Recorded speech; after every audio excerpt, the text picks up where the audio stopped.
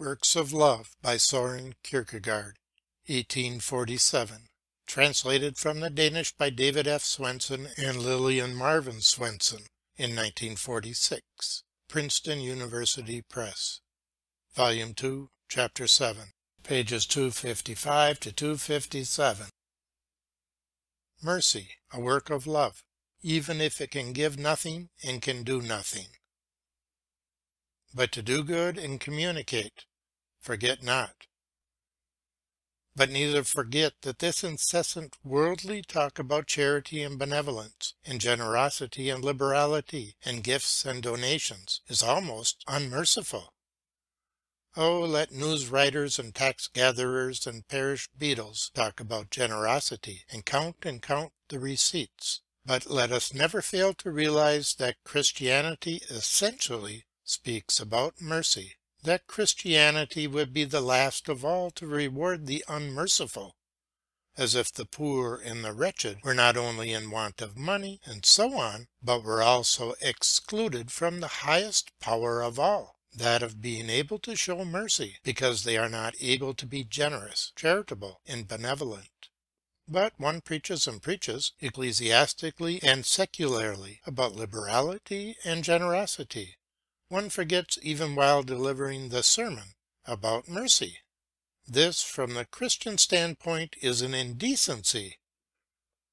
The poor man who sits in church must groan. And why must he groan? Is it so that his groaning, together with the preacher's eloquence, might help to get the purse strings of the rich opened up?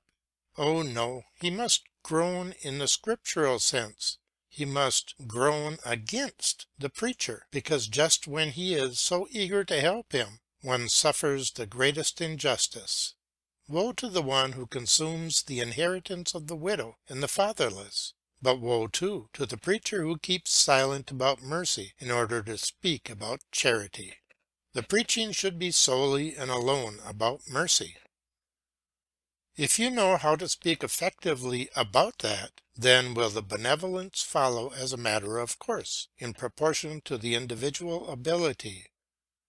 But consider this, that if a man by talking about charity procured money, money, money, consider this, that by keeping silent about mercy he acted unmercifully toward the very poor and wretched, for whom he secured relief through the help afforded by the rich gifts of charity.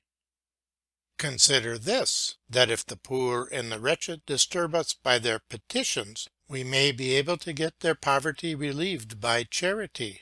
But then consider that it would be far more terrible if we forced the poor and the wretched to hinder our prayers by groaning against us to God, as the Scriptures say, because we atrociously treated the poor and the wretched unfairly by not telling them that they can practice mercy. We shall in this talk about mercy keep close to this thought, and to guard ourselves against confusing mercy with what really belongs to external conditions over which consequently, as such, love has no control, while it does truly have mercy in its power, just as certainly as love has a heart in its bosom. Because a man has a heart in his bosom, it by no means follows that he has money in his pocket, but the former is far more important and is certainly decisive as regards mercy. And truly, if one had no money, but really knew how to encourage and inspire the poor and the wretched by talking about mercy, then he would have done quite as much as the one who throws some money to the poor, or holds forth about charity from the rich. So we shall meditate on mercy, a work of love, even if it can give nothing and can do nothing. We shall strive, according to the ability granted us, to make it as obvious as possible, as alluring as possible, to bring as close home to the poor as possible what consolation there is for him in being able to be merciful. We shall speak about this by doing away with a part of the worldly illusion. But truly our desire is, by means of what we say, to contribute whatever is needed to make the one who can be charitable and benevolent as humble as possible in his giving, as it is well pleasing unto God, as modest in divine shyness as is becoming to a Christian, as willing to give and yet as unwilling to confess that it is alms, as is the one who turns away his face in order not to be ashamed by others, seeing that it brings him honor, or as the one whose left hand actually does not know what the right hand does. Mercy has nothing to give. It follows as a matter of course that if the merciful has anything to give, then he gives it most willingly. But it is not on this that we focus our attention, but on the fact that one can be merciful without having the least thing to give.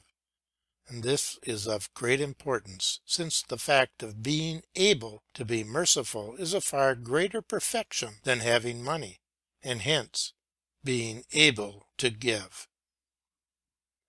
If that man celebrated for eighteen hundred years, the Good Samaritan, had not been riding but walking on the way from Jericho to Jerusalem, where he saw the unfortunate man lying, if he had carried nothing with him with which to bind up his sores, if he had then lifted the unfortunate man up, laid him upon his own shoulders, and borne him to the nearest inn, where the landlord would under no conditions receive either him or the unfortunate, because the Samaritan did not have even a farthing and could only beg and beseech the hard-hearted landlord to be merciful, since a man's life was at stake.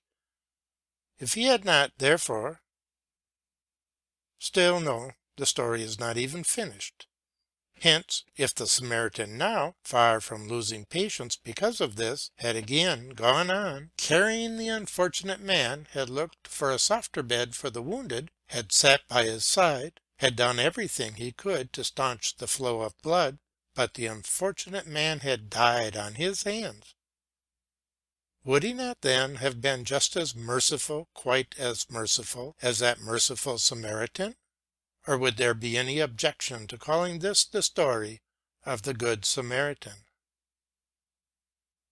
Take the story about the woman who laid the two pennies in the temple chest, but let us make a little poetic change in the story.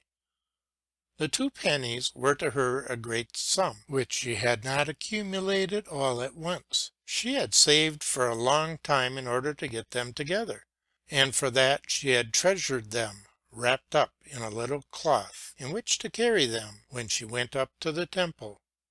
However, a thief had noticed that she had these pennies, had stolen them from her, and had left a similar cloth in place of hers, which contained nothing something the widow did not know. Hence she went up to the temple, carrying, as she supposed, the two pennies, that is, nothing to the temple box. I wonder if Christ would still not have said what he did say of her, that she gave more than all the rich. Still, mercy without money, what significance has it?